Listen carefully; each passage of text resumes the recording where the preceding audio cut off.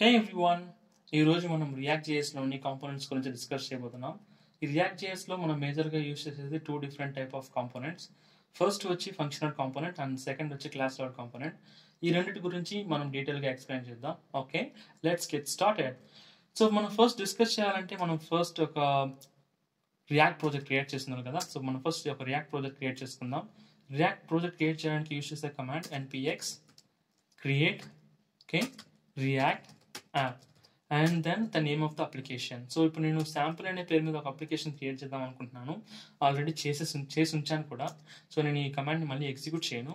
డైరెక్ట్గా ఆ డైరెక్టరీకి మూవ్ అవుతున్నాను ఓకే సో శాంపుల్ అనే ప్రాజెక్ట్ డైరెక్టరీకి మూవ్ అయిపోయాను.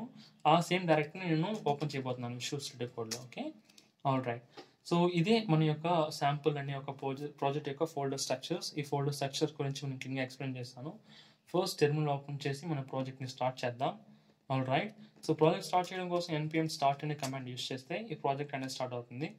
మన ఎప్పుడు ఈ ప్రాజెక్ట్ స్టార్ట్ అయినా మనకి ఏ కాంపోనెంట్ ఎగ్జిక్యూట్ అవుతుందంటే సోర్స్ లోపల ఉండే యాప్ డాట్ చేసి అనే మెయిన్ కాంపోనెంట్గా మనకి డైరెక్ట్గా ఎగ్జిక్యూట్ అవుతుంది ఓకేనా చూడండి యా మన యొక్క ప్రాజెక్ట్ కూడా స్టార్ట్ అయింది.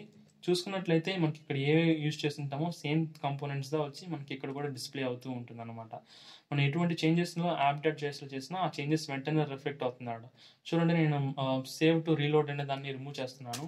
ఒట్టి అండ్ వరకే ఉంచేస్తున్నాను. నేను దీన్ని సేవ్ చేసిన వెంటనే నాకు ఇక్కడ రీలోడ్ అయిన వెంటనే చూడండి అండ్ వరకే ఉంది. ఓకే? సో దీన్ని బట్టి మనం క్లియర్గా అండర్స్టాండ్ చేసుకోవచ్చును. Any changes that we do in app dot JS that will reflected as it is in the browser okay? All right so ఇప్పుడు నేను ఈ ఎంటైర్ కాంపోనెంట్ రిమూవ్ చేసి మన యొక్క యాక్చువల్ కాన్సెప్ట్లోకి వెళ్దాం. ఫస్ట్ నేను క్లాస్ లెవెల్ కాంపోనెంట్ గురించి ఎక్స్ప్లెయిన్ చేస్తాను.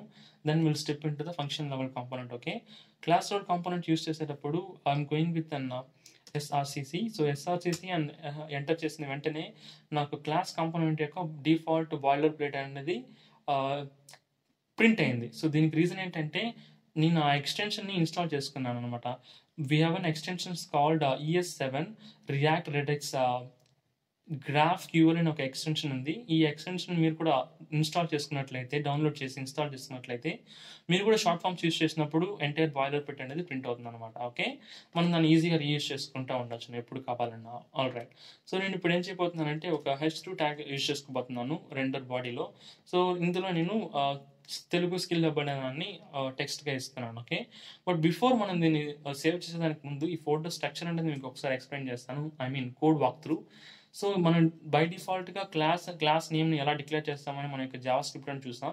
కానీ ఇక్కడ ఎక్స్టెండ్ చేసేటప్పుడు కాంపోనెంట్ అనే క్లాస్ని ఎక్స్టెండ్ చేస్తున్నాం. ఈ కాంపోనెంట్ అనే ఈ కాంపోనెంట్ అంటే ఒక క్లాస్ ఎక్కడి నుంచి వస్తుందంటే రియాక్ట్లో ఉండే ఒక క్లాస్తో వచ్చే కాంపోనెంట్ దాన్ని ఇక్కడ మనం ఎక్స్టెండ్ చేసుకున్నాం okay and then render method ఉంటుంది. ఆ రెండర్ మెథడ్ లోపలనే మనకి రిటర్న్ స్టేట్మెంట్ అనేది ఉంటుంది అనమాట ఆల్ రైట్ సో నేను సేవ్ చేస్తున్నాను ఎగ్జిక్యూట్ చేసేసాను. సో మనం రీఫ్రెష్ చేసిన వెంటనే ఇక్కడ దట్ తెలుగు స్కిల్ హబ్ అనేది ప్రాపర్గా ఎగ్జిక్యూట్ అయింది. ఓకే. ఇదే మనం యూజువల్గా ఒక వేరియబుల్ అసైన్ చేసి ఆ వేరియబుల్ని మనం హెచ్టిఎంఎల్లో యూజ్ చేయాలంటే ఎస్ యూజ్ చేసుకోవచ్చును. దానికి వీ హ్యావ్ అన్ స్టేట్ అనే ఒక ఆబ్జెక్ట్ డిక్లేర్ చేసుకుంటాం యూజువల్గా యూనో క్లాస్ లెవెల్ కాంపోనెంట్లో ఉండే బెస్ట్ ఫీచర్ ఏంటంటే స్టేట్ మేనేజ్మెంట్ మాత్రమే. సో ఆ స్టేట్ మేనేజ్మెంట్ని రియాక్ట్ లైఫ్ సైకిల్ హుక్స్ ఈ రెండు బెస్ట్ ఫీచర్స్ వల్ల వచ్చి ఈరోజు కూడా చాలా మంది క్లాస్ కాంపోనెంట్ని ఇష్టపడి యూస్ చేస్తూ ఉంటారు. అండ్ ఈ స్టేట్ లెవెల్ మేనేజ్మెంట్లో మనం ఎటువంటి వాల్యూస్ అయినా స్టోర్ చేసుకోవచ్చును. Like JSON data or temporary variable data. మనం ఏ వాల్యూ స్టోర్ చేసినా దాన్ని మనం లేటర్గా మాడిఫికేషన్ కూడా చేసుకోవచ్చు ఓకే? సో ఇప్పుడు నేను నేమ్ అని వచ్చేసి ఆ నేమ్కి ఆ నేమ్లో నేను తెలుగు స్కిల్ హబ్ అనే ఒక వాల్యూని అసైన్ చేసేసి ఉంచేస్తాను ఓకేనా? సో దీన్ని నేను లేటర్గా యూస్ చేసుకుంటాను.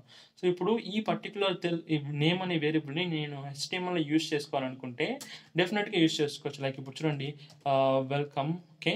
వెల్కమ్ టు అని ఇచ్చి skill hub Telugu skill hub అని ప్రింట్ చేయాలనుకుంటున్నాను.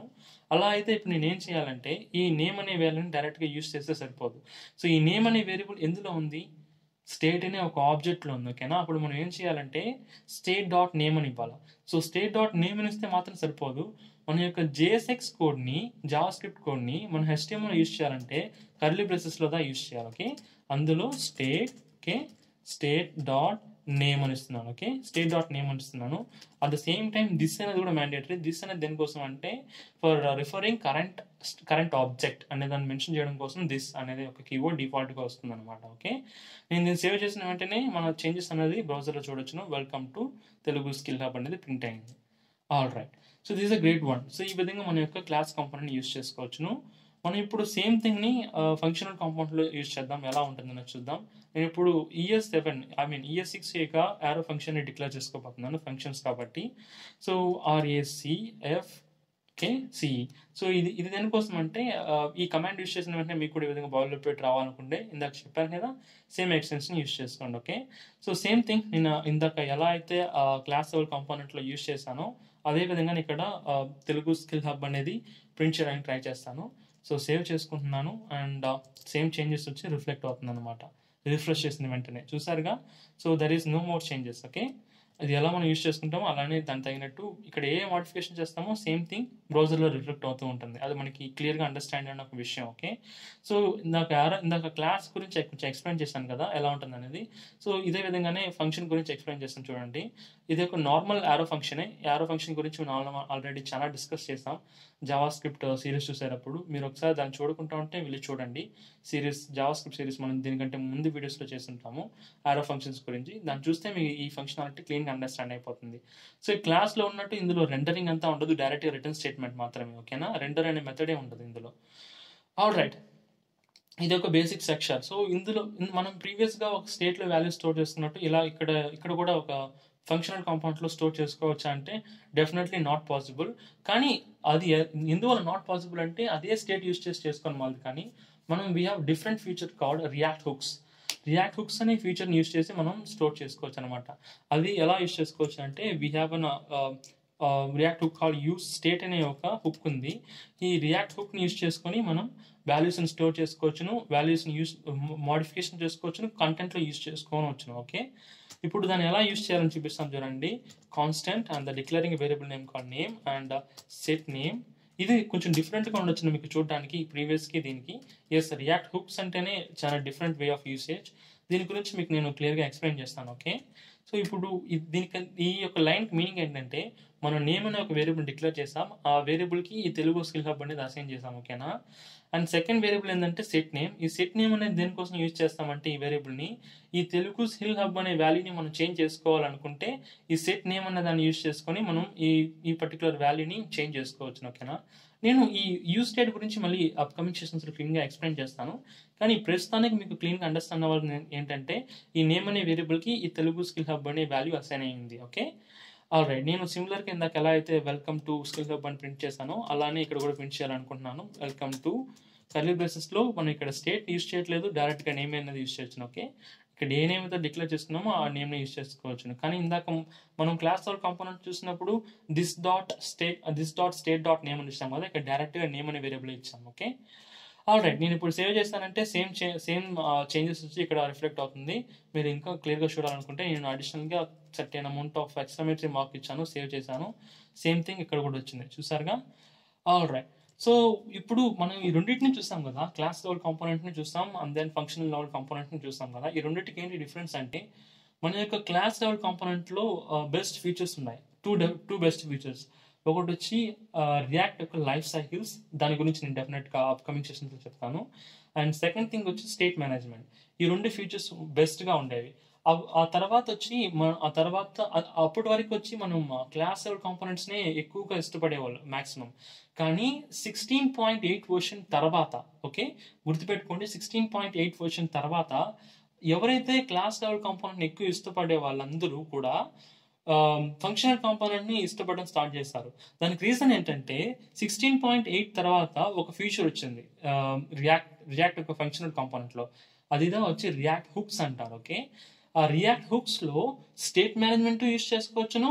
అదేవిధంగానే um, the best special feature ఏంటంటే లైఫ్ సైకిల్స్ సో ఈ లైఫ్ సైకిల్ హుక్స్ అనే కాన్సెప్ట్ని యూస్ చేసుకోవచ్చును. అదే విధంగానే స్టేట్ మేనేజ్మెంట్ చేసుకోవచ్చు అనమాట ఈ ఒక్క హుక్స్ కాన్సెప్ట్లోనే సో అప్పటి ఇది ఈ కాన్సెప్ట్ అనేది చాలా ఎక్కువగా అట్రాక్ట్ అయింది అందరికి. ఎందుకంటే టూ ఫీచర్స్ని ఒకే ఒకే కాన్సెప్ట్లో ఇంటిగ్రేట్ చేయడం అనేది అందరికి ఎక్కువగా నచ్చింది. సో ఇన్ఫ్యాక్ట్ మనం కూడా అప్కమింగ్ సెషన్స్లో క్లాస్ లెవెల్ కంపోనెంట్స్ని ఎక్కువగా యూజ్ చేయం. ఎందుకోసం అంటే మనకి ఆల్రెడీ ఫంక్షనల్ కాంపోనెంట్స్ హుక్స్లోనే మనకి అన్ని ఫీచర్స్ ఉన్నప్పుడు మనం స్టేట్ మేనేజ్మెంట్ కోసం ఒక కాన్సెప్ట్ ఆ తర్వాత లైఫ్ సైకిల్ కోసం ఒక కాన్సెప్ట్ యూస్ చేయం కదా. ఈ రెండింటికి ఒకే కాన్సెప్ట్ యూస్ చేసేద్దా రియాక్ట్ హుక్స్ కాబట్టి ఆ రియాక్ట్ హుక్స్ అనేది ఓన్లీ ఫర్ ఫంక్షనల్ కాంపోనెంట్ ఇది మాత్రం గుర్తుపెట్టుకోండి okay we're not going to use an any kind of react hooks concept in class level components okay we only use hooks concept in functional level components ఇది చాలా క్లియర్గా understand చేసుకోండి ఓకేనా all right guys so ఇవాళ video we're actually done with this thank you so much మన upcoming సెషన్స్లో ఇంకా new new concepts చూద్దాం. See then bye